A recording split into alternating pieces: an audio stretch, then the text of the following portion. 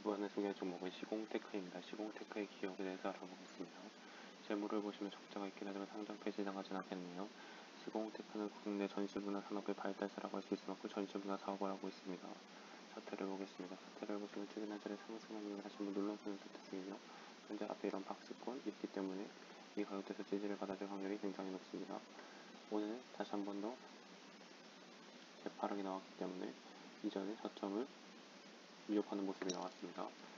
이탈하지 않는다면 일단 가져가 볼 수 있겠습니다. 이탈한 다음에 이 우상수의 눌림목은 장기 입혀서 부분까지 하락할 가능성이 있습니다.